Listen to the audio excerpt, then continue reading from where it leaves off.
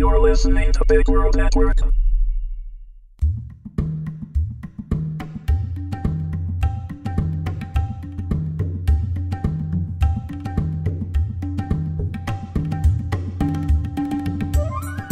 Phineas Frakture and the Curse of Steamhotep, Episode 6. Written by Joseph Gatch.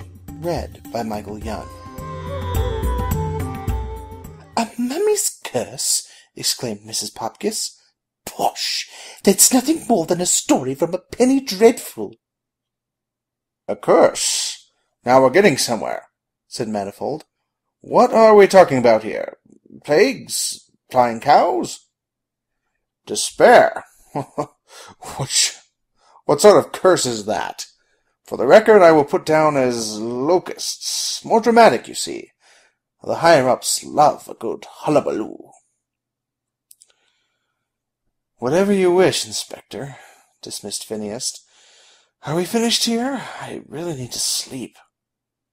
Yes, yes, I think that we can rule you out as a suspect for now. Manifold waggled a finger at him. But don't you be going anywhere. We might need to question you further. He turned to Mrs. Popkiss. Would seven in the morn be too early? That would be fine, replied the housekeeper, knowing full well what he meant. No, wailed Phineas in response. If you need to see me, you could come to the university. Now, take this lot and get out. Come on, all of you. This isn't a meeting house. Scooping up as much food as they can carry, the constables, William, and Abigail fled out of the house. Phineas stopped William as he passed and shoved a piece of paper into his breast pocket. Pick these up for me, if you will, and have them here by the time I wake up.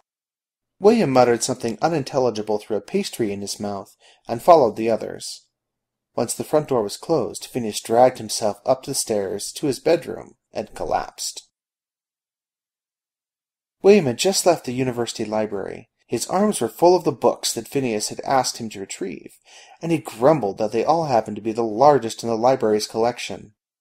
After passing a pastry shop, and exerting a brief act of willpower by denying himself a look in the shop window, he stopped and turned slowly at an alley, reconsidering the merits of an afternoon snack. However, he never got the chance to act on his desires. Hans quickly grabbed the assistant, hauling him into the alley away from inquiring eyes. He was thrown up against the brickwork, causing him to lose his breath and drop the books. A gloved hand clamped over his mouth, and a pointy-faced man with very bad breath held him against the wall. Not a word, Mr. Patterson, he said. Now, if you promise not to shout, I will remove my hand. If you decide to call for help, you might not like what happens next. I just want to talk. Do you understand? William nodded his head, and the man stepped back. Once he was free, the first thing William did was cough and wave his hand in front of his face, trying to get the man's breath out of his nose. What do you want? Your friend, Professor Frakture, is playing with a new toy. We want it, and all of his research. And just who the devil are you? The man produced an identification paper stating that his name was Lieutenant Farrington Thorne of the Imperial State Security, Division 5. You are the devil, said William in a hushed tone. Some have called me that. They were all enemies of the Empire. Thorne smiled wickedly. What do you know about Kavanagh's mummy? Nothing, I swear. I only saw him for a few minutes. Phineas has been studying him. Kavanagh's dead, though. Did, did you kill him? We don't waste our time with trivial matters. The mummy is gone, and Frakture is the only one with knowledge of his inner workings. I don't know what to say. I, I know nothing about this. It's, I'm, I'm just his assistant. Not a very good one, Thorne sneered. He doesn't even let you in on what he's doing.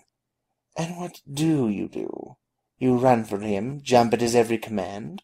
You could be so much more than his lapdog.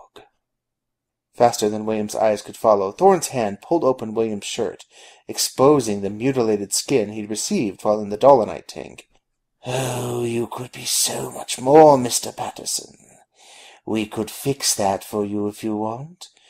We can finish the process and make you better, stronger.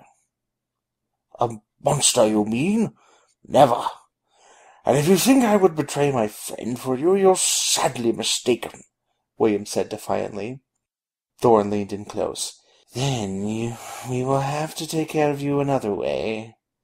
He held out his hand, and a soldier handed him a device that looked like a magnifying glass, with several wires wrapped around the framework. He flipped a switch on the handle, and several small lights began circling within the lens. Thorne held it up in front of William's eyes. Now, Mr. Patterson, you will remember nothing of this conversation until I decide to let you remember. As far as you are concerned, you tripped and fell into this alley. Is that understood? William's eyes lost their focus, and he answered, Yes. Good. Now you may wake up again as soon as we are gone. William shook his head and looked at the mess around him. Cursing his clumsiness, he picked up the books and straightened his shirt. I must be starving if I lost my balance so easily. Perhaps it was bad luck to pass up the shop after all. These tomes nearly broke my back, William complained as he dropped them on Phineas's desk. What do you need these for, anyway? Just some light reading, replied the professor. You never took an interest in ancient history before. Why now?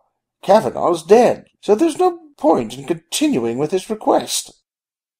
It's not Kavanaugh that I'm interested in. It's Steamhotep. Why would you be interested in a murderous mummy? He didn't murder Kavanaugh. Not that I care who did, but it wasn't a desiccated corpse. And you know this how? Recall the pictures the inspector showed us. The measurements of the marks on Kavanaugh's throat matched those of a standard pipe fitter's wrench. Steamhotep's was a quarter of an inch smaller in width than that. Are you positive? Phineas rolled his eyes. Do you really need to ask that? Of course I'm positive. I have schematics. I spent the better part of the day taking measurements on him. Besides, the marks left on Kavanaugh's throat indicate that the wrench had teeth. The mummy's was flat. Whoever killed Kavanaugh didn't do a very good job at studying their alibi. Then who would want him dead? Take your pick, but that isn't my problem. It's the police's. No, my problem is what this does. Phineas tapped his finger on the drawing. Phineas tapped his finger on the drawing he had made of Steamhotep's inner clockwork. This device, where the heart used to be, is completely foreign to me. William peered at the drawing. Well, just Egyptian after all. Since that was where the heart was, could it possibly be some form of artificial heart? That would make the most sense. It would if it functioned like one. Hearts push blood. This pushes nothing. No blood, no fluid of any kind. Even automatons use some form of self-lubrication. This totally baffles me. I need that key. Which will do you no good without the mummy. That is the second order of business. We must find Kavanaugh's assistant, Burke. I'll get our coats. You grab your pastries. Burke is dead? Inspector Manifold had stopped Phineas and William out. Inspector Manifold had stopped Phineas and William outside of Burke's apartment. Yes, he is. Another victim of the mummy's curse.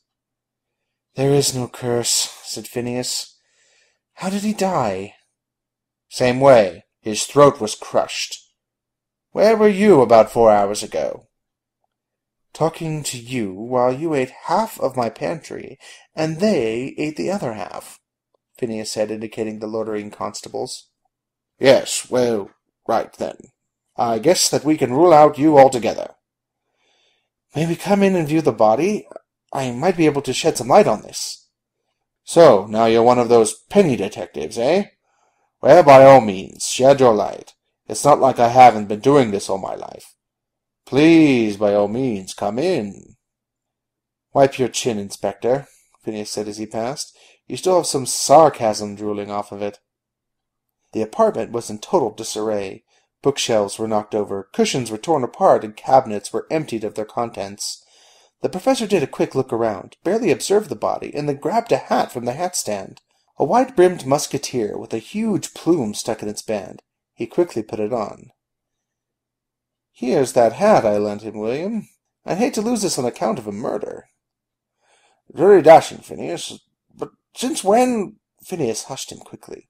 Inspector, I believe that you should hurry. The mummy will strike again very soon. I am thinking that he will go after the tavern owner at the Five Mules, where Burke is known to frequent when he's in town. Come along, Patterson.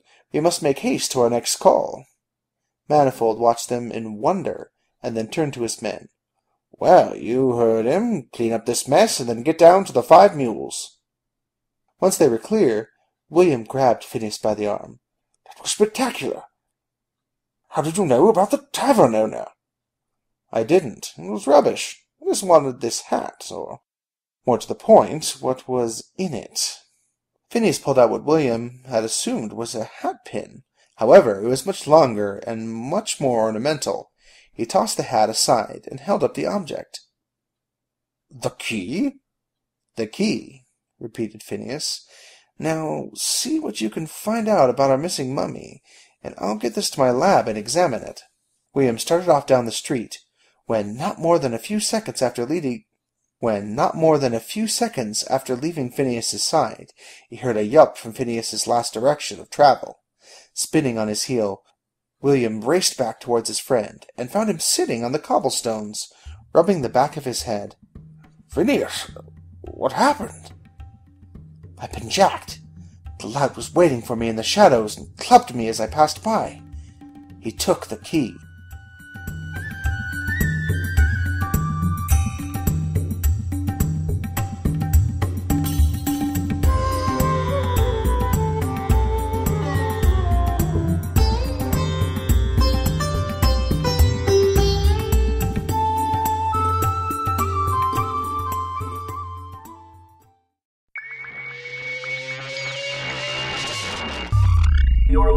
To Big World Network.